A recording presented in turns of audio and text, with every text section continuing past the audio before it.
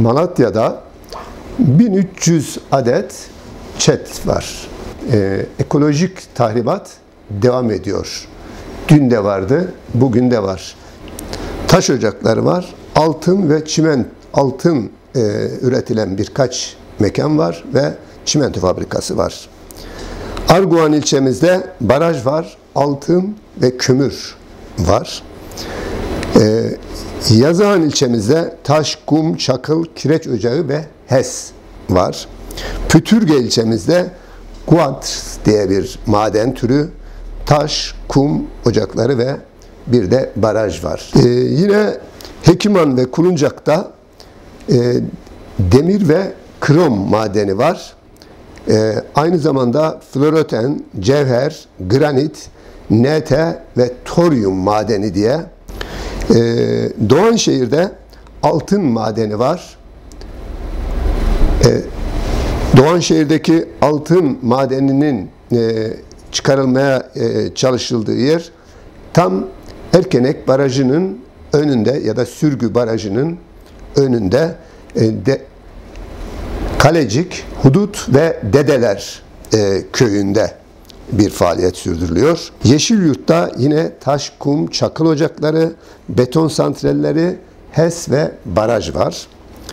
Doğan yolda taş, kum, çakıl ocakları ve baraj var. Kale'de taş, kum, çakıl ocakları ve baraj var. Yani kısacası hani niye bu taş, kum, çakıl ocaklarını ifade ettik?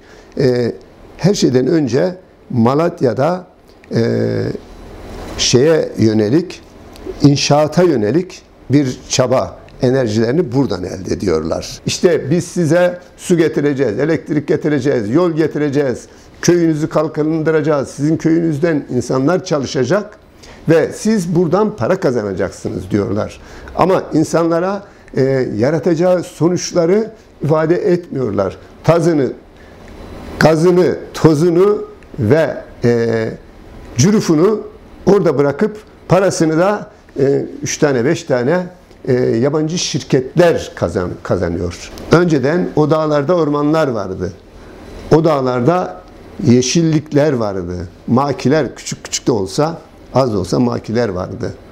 Bağ bahçeler vardı. Şimdi oraların tamamı tamamı maden alanına açıldığı için e, taş ocaklarına açıldığı için tam anlamıyla çırılçıplak bir görünüm var.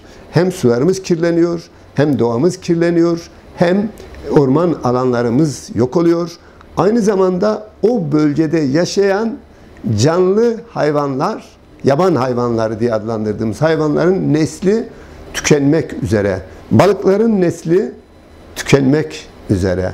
Kamyonlara e, gelişi güzel yükleniyor, kamyonlarla taşınıyor, e, kamyonların üstü açık, e, yağmurla, e, rüzgarla e, toplumun üzerine, e, şehrin üzerine asbest etkisi e, dökülmüş oluyor. Doğan şehirde gelişi güzel yerlere dökülmüş.